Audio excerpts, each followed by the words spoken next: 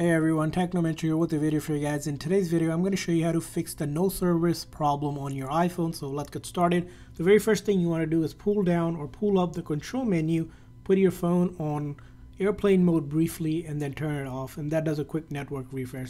The next thing to try is to just move a little bit away from the area you're currently in. Sometimes that might not have coverage or a dead zone and it might be a simple fix as that.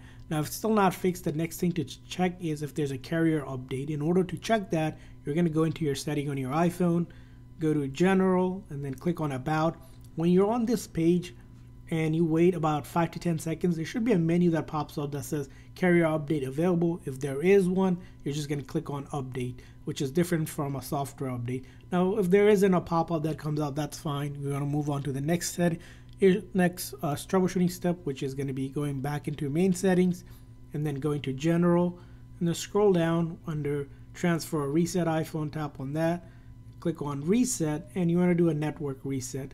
And go ahead and put in your phone's passcode, and the network reset will reset all the network settings like Bluetooth connected devices, uh, Wi-Fi that you connected to, which you can reconnect again, but it will not delete any of your data. So all of your photos, videos, apps will be safe. You don't have to worry about that.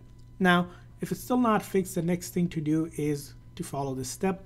You're going to quickly press and release the volume up, volume down, and then hold on to the side button until the screen goes completely black and the Apple logo appears. So I'll do volume up, volume down very quickly, and then I hold on to the side button. So just keep on holding on to that side button just like that.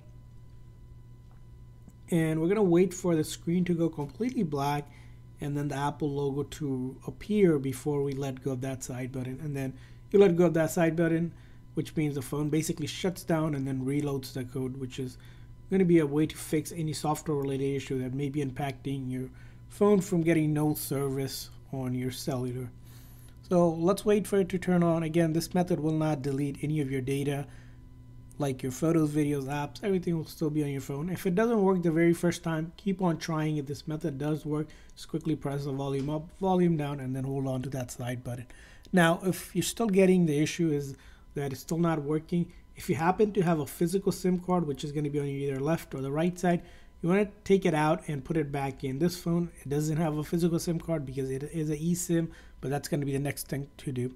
Uh, and then if you're still having issues, the next thing to do is go into your phone settings, go to general, software update, and check if there's an update available. Sometimes a previous update might have caused issues and a new update release is available. You want to go ahead and update your phone as well. For this, you might need to connect to Wi-Fi because of course, if you don't have cellular data, you'll not be able to connect to internet with that no service.